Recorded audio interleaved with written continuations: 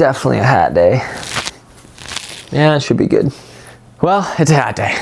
What's up everyone, welcome to a new video. Today's really exciting, so I'm gonna be showing you a nice little effect that you can do to create, what's that puppy? So you made your first YouTube video debut. Just kidding, you're in a vlog. But today we're gonna be checking out a cool little stop motion trail effect. It's pretty cool and it looks like this. Whenever you move around, it will create a trail. And the cool thing is you can change the frame rate that you want that flicker or that trail to happen. So first, click that like button because it seriously helps out the channel and I really appreciate your feedback down in the comments. Let's check out what this effect looks like. Oh.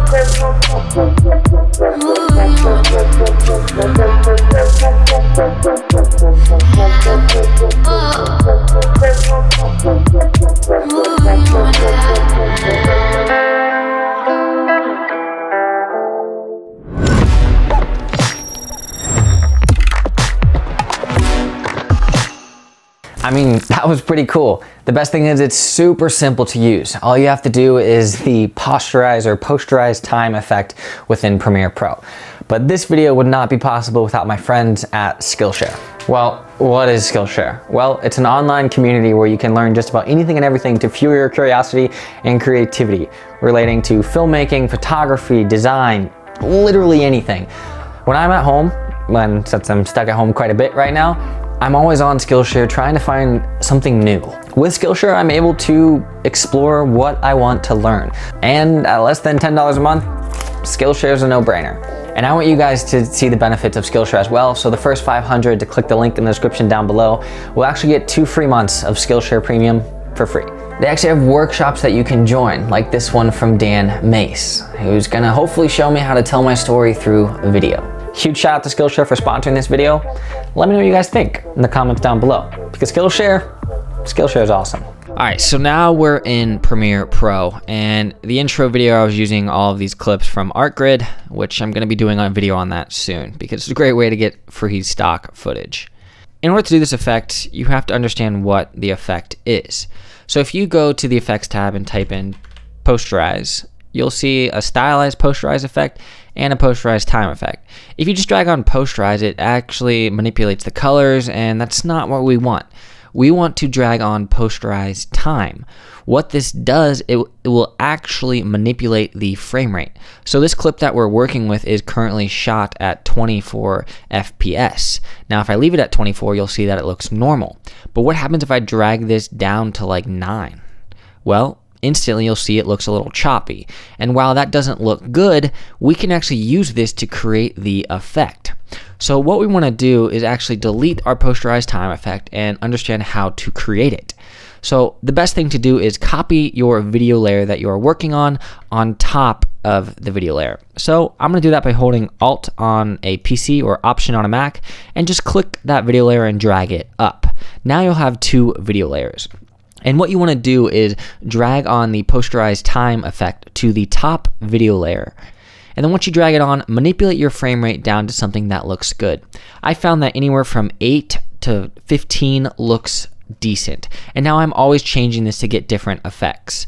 Now once you have that posterized time, click on your top video layer and go up to the blend mode up here under opacity and change that to lighten. As soon as you change it to lighten, it will instantly create that effect.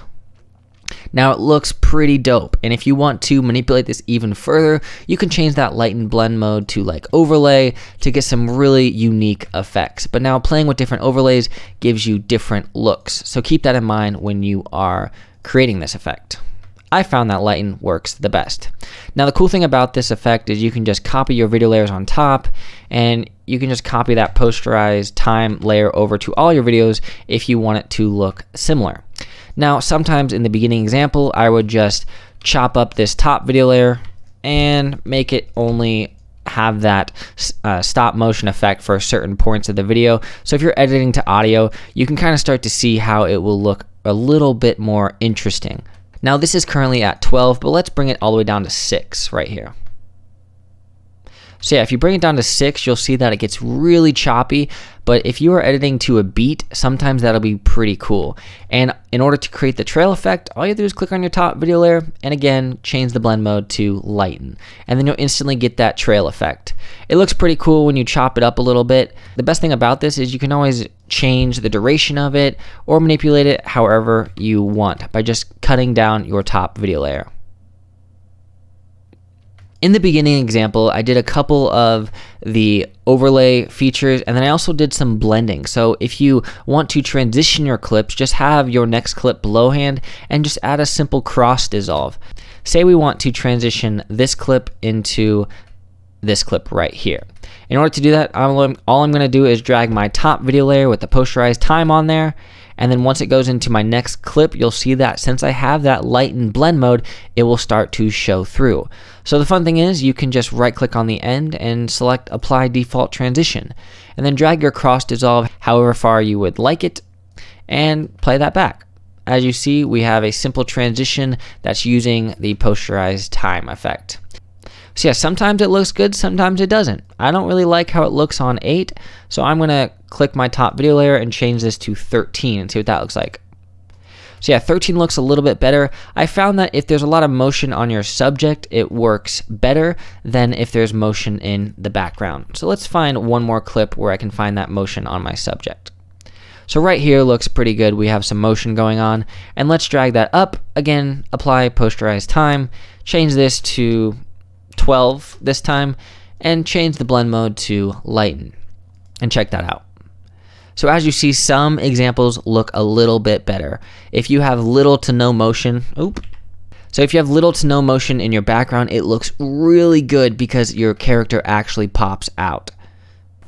That's pretty much it. It's super simple to do and honestly, I like it. I like effects that are simple and easy because it makes editing fun and exciting.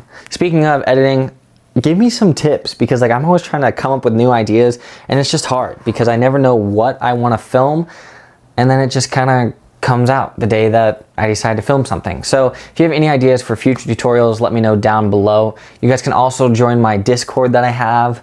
The link will be in the description down below. There we share our videos, we share future tutorial ideas, and then I give you guys updates and inside peeks into what I'm working on. So I'd love to see you guys there. But again, let me know what you think in the comments down below. Hit that like button. And if you're new here, consider subscribing because I'm going to be making some more stuff in the future. Now, I have a lot of stuff to work on on my house. Check out the vlog. It'll be linked down below if you want to see some behind the scenes. But it's coming together. I'm stoked because the studio looks amazing. As always, I'll see you guys next time.